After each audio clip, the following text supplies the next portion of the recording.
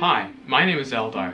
Welcome to the second Helpers COVID-19 Hungarian Immigration Question and Answers video.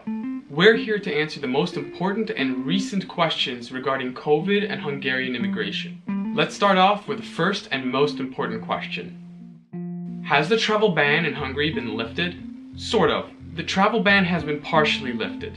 The ban was introduced on the 17th of March, and the partial lift happened on the 1st of May. It allows citizens from six countries to travel to Hungary for business purposes. The six countries are the following Austria, Czech Republic, Germany, Poland, Slovakia, and South Korea.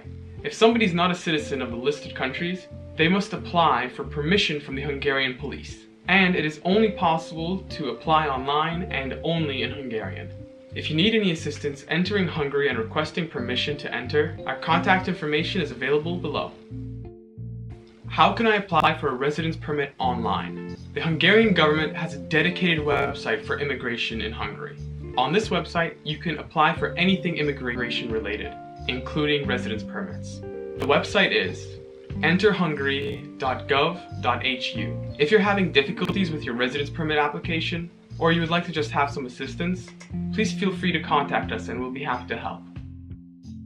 How can I obtain a Hungarian social security number or a TAJ number and how long does it take for the card to arrive to my address? You must apply at your local NEAK. NEAK is the Hungarian shortened name of the National Health Insurance Fund in Hungary.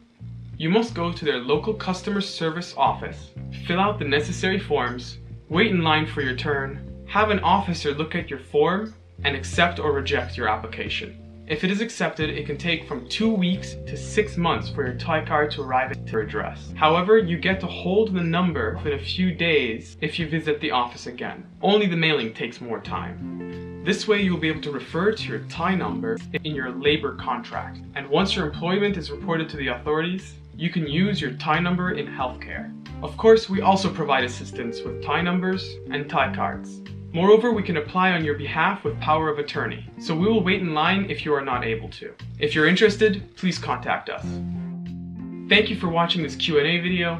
We are happy to make more of these. So feel free to ask your questions below or contact us directly and we will answer your questions personally. If this video was helpful, please thumbs up the video. If you haven't seen our previous Q&A video, click on the card up there. And if you would like to see whenever we upload something new, please subscribe to the YouTube channel. Stay safe and goodbye.